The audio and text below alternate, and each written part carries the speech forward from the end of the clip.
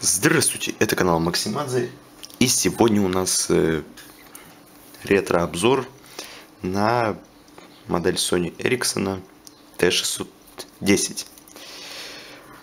Выпущена эта модель в 2003 году и позиционировалась как э, камерафон. Ценник у нее был довольно большой, где-то 11-12 тысяч рублей на тот момент. Э, не каждый мог позволить себе такую модель. Большинство людей пользовались телефонами тогда с монохромными экранами. А этот телефон не только цветной экран имел, но и еще и фотокамеру. Но о камере мы поговорим еще позже. Давайте поговорим сначала про внешность аппарата. Значит, э, у него вот такой вот дизайн, довольно стильный. Телефон легкий, достаточно компактный, хорошо лежит в руке. Такие вот отдельные кнопочки – которые влезают только английские буквы. Здесь должен быть э, значок Sony Ericsson, но тут он отвалился за время. Здесь находится камера и рядом с ней зеркальце для селфи. Здесь разъем э, для зарядки и гарнитуры. Здесь он довольно необычный. На более старый разъем, не такой, как Fast фастпорт в более поздних моделях Sony Ericsson. Здесь э, отдельно для зарядки и отдельно для гарнитуры. Зарядка выглядит, сейчас покажу. Зарядка выглядит вот так. То есть э, вот так вот втыкается вот сюда. И вот и вставляешь розетку и заряжается телефон. Интересно. Раньше у всех производителей были свои разъемы, не было единого стандарта, как сейчас. Здесь также находятся две кнопки.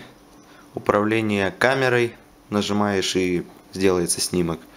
И кнопки регулировки громкости. Здесь находится кнопка, которая выводит нас в интернет.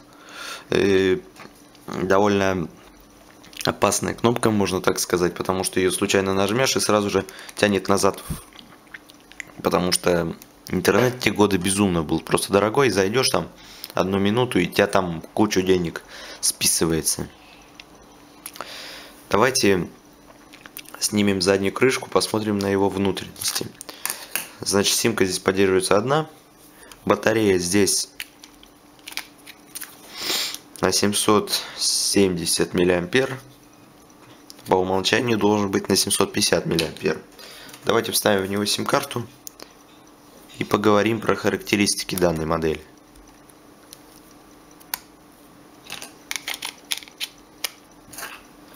И вот так вот ставится задняя крышка. Сверху у нас кнопка включения. Вот такая вот э, дырочка такая вот. И вот в этом месте располагается инфракрасный порт. Э, и он не, обо... не выделен никак его. Нужно как-то самому, блин, найти, я не знаю. В общем, основные характеристики. Помимо, помимо инфракрасного порта, здесь также имеется и Bluetooth, что довольно редко было на тот момент. Bluetooth э, версии 1.0, конечно, очень медленный по сравнению с нынешним. Экран у данного телефона, давайте включим. Экран разрешением 128 на 160 пикселей. На тот момент это был большой достаточно экран. Э, такая вот подсветка красивая клавиатуры. Все, все это, конечно, радует глаз. Камера. Чем вот э, интересен данный телефон, это своей камерой. Камера по нынешним меркам максимально простая. 0,1 мегапиксель. Разрешением 352 на 288 только фото возможно. Можно сделать селфи через, посмотрев вот в это зеркальце. Короче, что у нас еще по характеристикам? Весит телефон 95 грамм.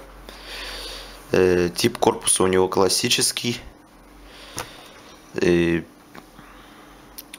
есть э, также у нас 32-голосная полифония. Виброзвонок, конечно. Bluetooth инфракрасный порт USB, как я уже сказал. Есть доступ в интернет, WAP, GPRS. Поддержка GSM 900, 1800, 1900.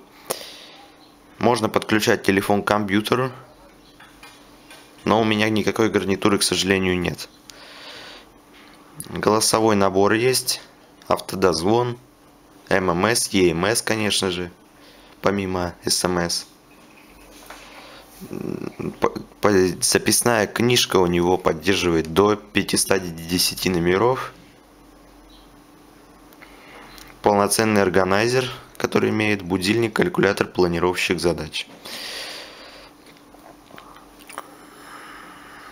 Дисплей STN 65 с половиной тысяч цветов. Да, ну и давайте теперь пройдемся по меню. Значит, э, вот здесь у нас заряд батареечки, прием сигнала пишется. Написано, что в режиме разговора поддерживают до 14 часов, в режиме ожидания до 400 часов. Блин, как ярко, вот ничего вот серьезно не видно. Ну яркость, блин. А, вот. Нет. Нельзя яркость уменьшить. В общем, здесь у нас оператор, прием сигнала вызовы еще еще это можно просто ссылки можно свои поставить эта кнопочка назад эта кнопочка стирает что-то можно что-то удалить или стереть, стереть лишнюю букву или цифру при помощи джойстика мы переходим в главное меню джойстики мне в Sony Ericsson не очень-то нравились на самом деле вот такой телефон у моего дяди был и вот когда я юзал его джойстик вообще плохо уже тогда работал Здесь он работает более-менее. Здесь сообщения, интернет-услуги, Sony Ericsson, камера. Камеры мы еще потом пройдемся. Кар картинки и звуки, связь, органайзер, настройки, информация вызовах, развлечения. Насчет сообщений, как я говорил, здесь EMS, MMS, SMS поддерживается. Э, главная фишка этого телефона это камера. Давайте сразу в нее заглянем. Давайте сфотаем вот этот вот Sony Ericsson W800i. Так, я сейчас сам сфотаю. То тут близко камера стоит. Вот, сфотал. Вот на эту кнопку можно на эту кнопку нажать и получается фотка. Вот такая вот картинка да, качество, конечно, ни о чем, годится, наверное, только лишь для просмотра на экране телефона. Хотя, с другой стороны, других вариантов-то редко бывает. У многих тогда компьютера еще не было своего. Компьютер штук, штуку бакинских тогда стоил. Что у нас тут вообще есть по камере? Да, камера может делать только фото. Нету зума, нету видеозаписи. Но по тем временам это все просить можно было. Вот размер 352 на 288 максимум. Ночной режим есть, даже есть эффекты, как ни странно. Можно черно-белый поставить, негатив, сепию. Это реально крутые фишки в камере. Что нас дальше интересует? Это картинки и звуки. Здесь э, файловая система, но я бы не, срав... не мог бы ее сравнить с, со всякими Сименсами, например, там, где файловая система просто божественная была. Здесь э, только можно сказать три папочки, это картинки, звуки и темы. Темы есть, было много, преду... несколько предустановленных тем оформления, но они здесь не сохранились, сохранилась только обычная тема. Из интересных штук есть графический редактор, можно картинки было редактировать, там простенький был фоторедактор, так, композитор, композитор.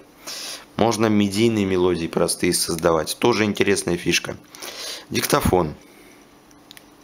А, это все что ли? Так, ну-ка давайте что-нибудь запишем. Диктофон, наверное, говёный, но все равно проверим. Всем привет, это канал Максимадзе и ведется запись на диктофон Sony Ericsson TH10. Раз, раз, два, три. И все. Так, ну и послушаем этот звук. Да куда ты?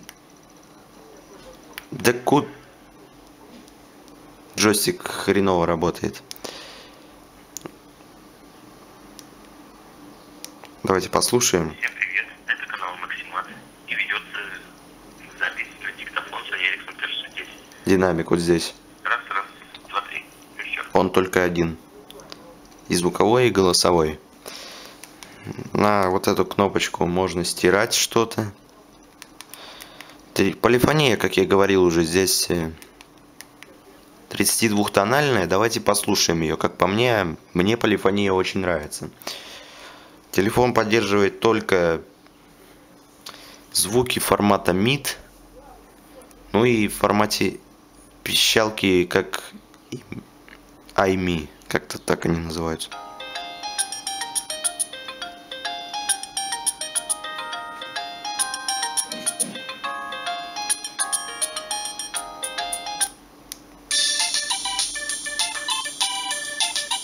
Никакого MP3, конечно, и- да и WAV даже нету здесь.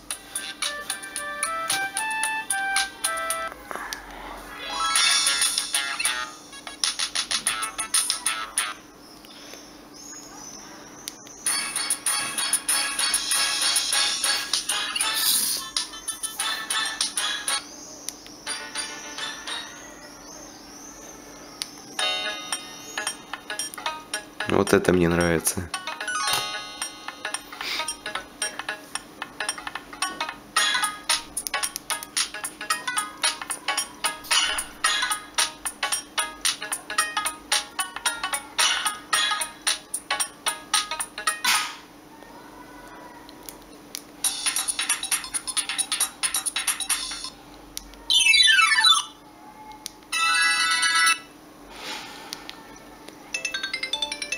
Вот всем известная. Есть еще, ну и одна пищалка еще есть вот такая.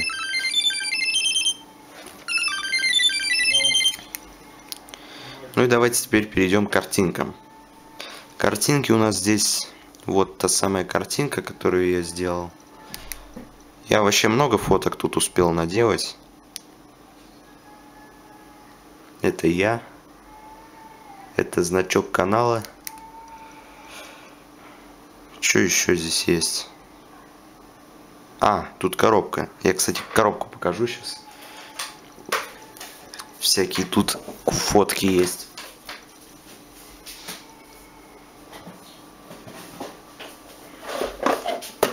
Вот так выглядит коробка от него.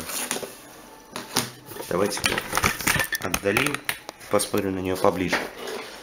Вот так выглядит коробка. Здесь основные функции написаны. Типа есть камера, что-то еще, раз- развлечения, Bluetooth, 30-тональная, 32-тональная полифония и ММС. Sony Ericsson, участвуй в розыгрыше. Ну и всякая другая ерунда.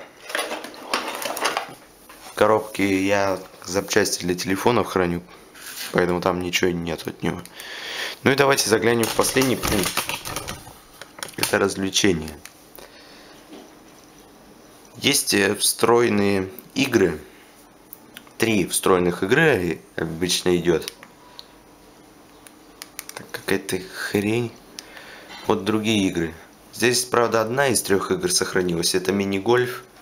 Ява очень слабенькая и толком каких-то крутых супер-пупер игр здесь не поиграешь. Doom RPG, Bunker 3D, в такие игры, конечно, не поиграешь.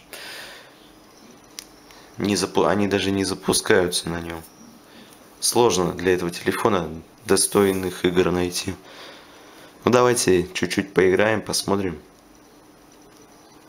А, вот курсор. Ямка первая. Давай грузись. Как тут управлять-то? так?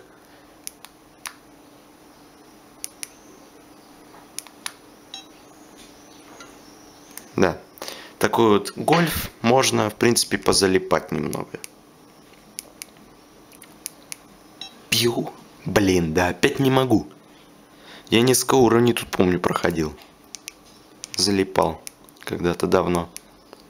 В этот дурацкий мини-гольф. Ну и последний удар. Давай. Ну куда ты? Давай. Да ё-моё, ну как же такая? Все? Ну и ладно. Но я на камеру сложно довольно играть. Ну и давайте голосовой динамик проверим. Вызов сделаем какой-нибудь. Добрый день. Рады приветствовать вас в службе личной поддержки Теле2.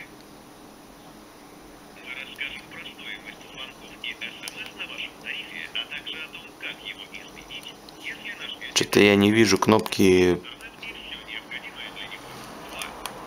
Я что-то не вижу кнопки этого, блин. Громкой связи. Я не вижу. Не уверен, что она тут есть. Но телефон все-таки умеет записывать телефонные разговоры. Это уже интересно. Ну и, в принципе, на этом модели больше тут ничего интересного нет. Такого. Э, 2000 где-то в конце 2003 или в начале 2004 вышла на, на эту смену пришла модель Sony Ericsson T630. Вы сейчас ее можете видеть на картинках.